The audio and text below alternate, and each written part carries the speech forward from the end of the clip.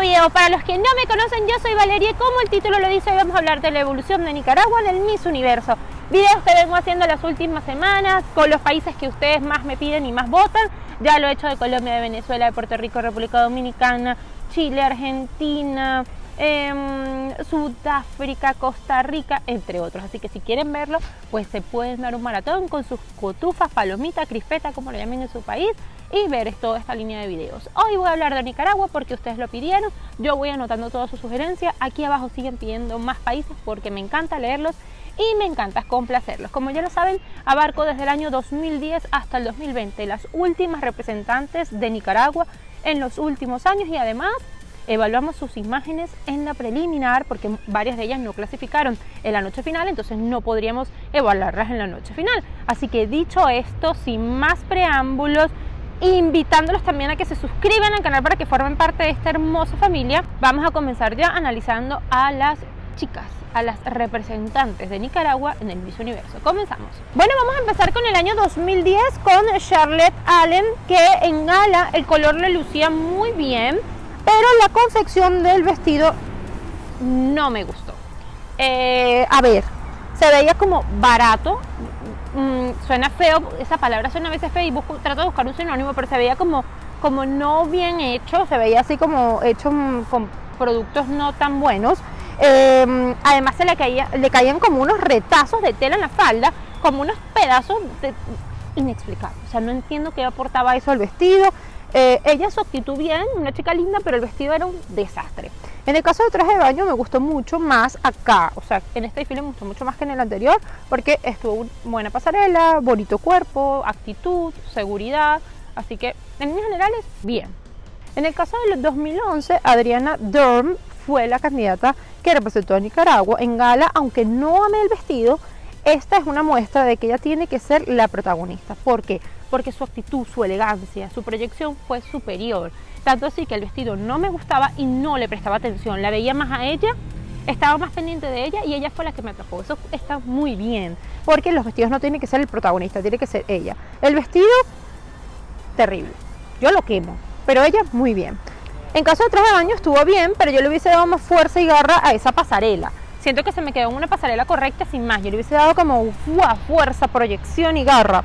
Eh, se me quedó como un poquito gris. Creo que era una candidata que podía dar más, se le podía sacar más a esta chica. Nos vamos al año 2012 con Farah Slakit, Slakit no sé muy bien su la, la pronunciación, que en gala, por Dios, por Dios, por Dios. Qué manera de destruir una chica tan linda. Qué desastre de vestido, le caían unos pedazos de tela sin sentido, ella no podía caminar, se lo tenía que sujetar aquí, está todo el desfile con, las dos manos sujetándose el vestido, un desastre total. Esto es lo que yo digo, mis amores, que el vestido no puede ser protagonista ni puede perjudicar a la candidata. Terrible, terrible, desastre total.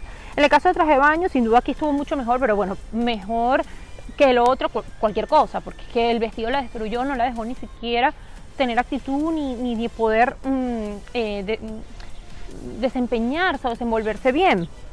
Eh, se veía bella, una buena pasarela, este, insisto, para mí estuvo mejor en traje de baño que en traje de gala. Vamos al año 2013 con Natasha Bolívar, una chica que la recordamos mucho, que le fue muy bien, que tuvo, una, tuvo clasificación.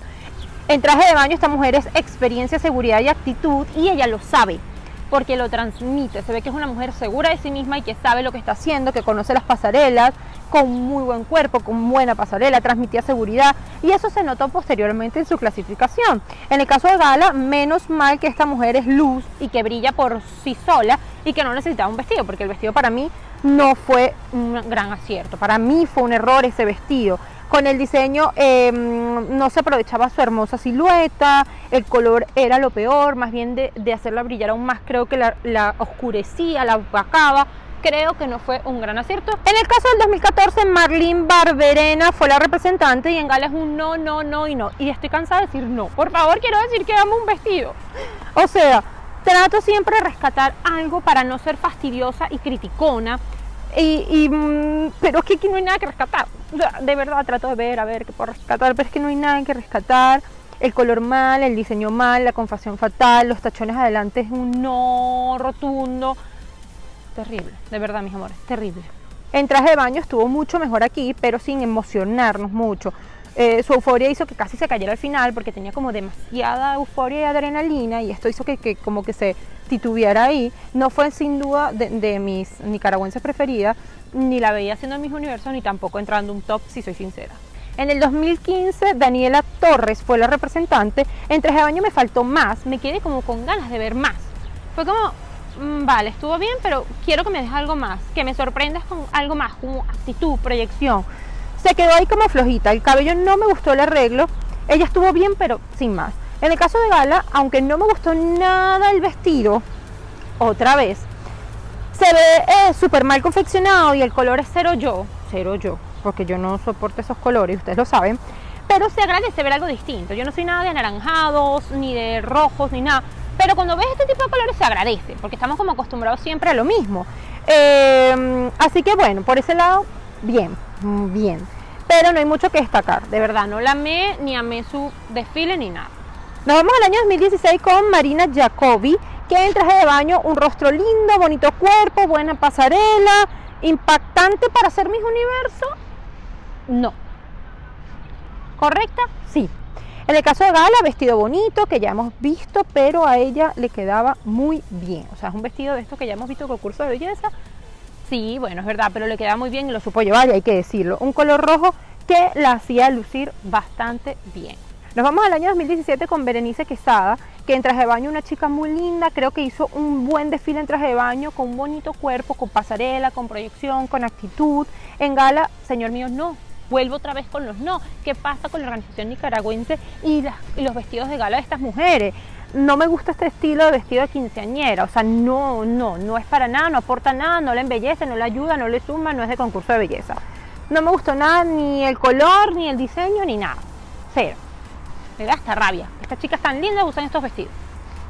En el año 2018, Adriana Paniagua, eh, que en traje de baño se ve bella Adriana, me su, su cola, creo que le aportó bastante, se veía muy bien, buena pasarela y actitud.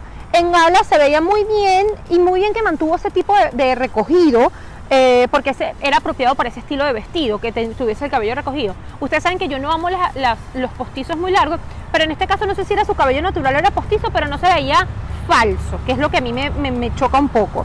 Eh, se veía muy bien, creo que fue una buena candidata. En el 2019 Inés López fue la nicaragüense que representó a su país en el Miss Universo. En traje de baño estuvo Sol Sosita, creo que le faltó como proyección de actitud, pasarela un poco gris, no es de mis nicaragüenses preferidas ni de cerca. En el caso de Gala, ella es muy menudita, o sea, es como una chica así menudita, bajita, entonces creo que eh, no tiene una eh, actitud explosiva que le hiciera como, eh, ya que de físico es menudita, que le hiciera sobresalir. Y siento que el vestido, en vez de sumarle, más bien la opacó. Entonces fue como un conjunto de, cosas que no estuvieron bien para mí y no fue una candidata que me encantó. Y voy a cerrar con el año 2020, que para mí ha sido sin dudísima mis preferidas, mi nicaragüense preferida de los últimos años, junto quizás a Natasha eh, Bolívar, pero por encima Ana Marcelo, que tuvo una preliminar divina, en traje de baño estuvo perfecta en desfile, en cuerpo, en actitud, en belleza, en rostro, en todo y en traje de gala igual, un vestido más de lo mismo, pero es que le quedaba mm, divino. Ella se lució, tuvo proyección, pasarela, eh, actitud, simpatía, supo manejar cada momento, más que merecía su clasificación al top final. Estaba súper feliz con Nicaragua porque para mí ella, junto a otras chicas, fue de las mejores, sin duda alguna, en la preliminar del Miss Universo 2020. Así que para mí, de mis preferidas. Bueno, mis amores, ¿qué opinan ustedes de las nicaragüenses? ¿Están conmigo? Tienen otras preferidas, no son igual que la mía, todos sus comentarios aquí abajo. Gracias por